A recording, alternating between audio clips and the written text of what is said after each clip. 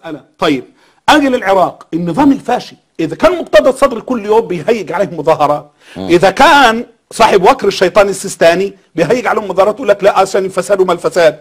إذا كان معلوم إن العراق كانت دولة قوية زراعية صناعية وبعد موت صدام صارت أفسد دولة على ظهر كوكب الأرض يشرب أهلها الماء بالدود.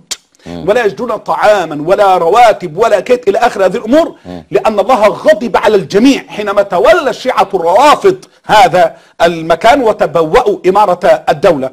خلاصة المسألة هل لنا معهم مصالح؟ لا لا هل